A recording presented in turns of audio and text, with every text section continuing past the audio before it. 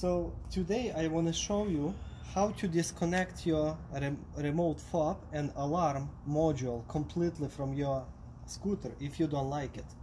Some people they never use this fob and uh, they don't really like that uh, squeak uh, squeaking noise neighbors complaining or they just don't like it uh, so it bothers them a lot so they've been asking how can I unplug it? How can I disconnect it completely that, that I don't have to push unlock button every time I have to start the machine?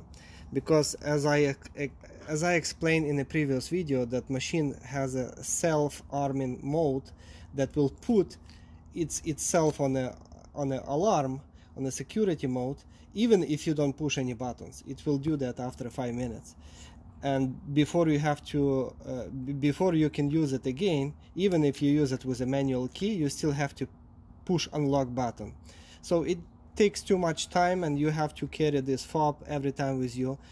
So you can disconnect the alarm module completely by just simply unplugging the one plastic plug and then you don't have to carry this fob with you okay? So you have to open up the rear uh, seat cargo department. You have to loosen those two bolts and two on the bottom to lift up the plastic tray.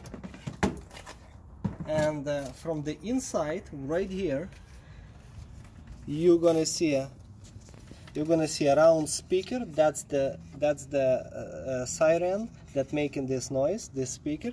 And right beside that speaker you're gonna see the plug with uh, four wires coming out so you have to unplug this plug, unplug it completely from this black module. This piece right here. Once you unplug it, uh, your alarm will not be active anymore and your fob, remote fob, the keychain fob, will not be active anymore. So you will, it will never bother you again. So all you will be doing just uh, using manual key from now on. Okay? And anytime you want to use the fob again you can just plug it in back to this black box and it will work as before. Okay thank you. Bye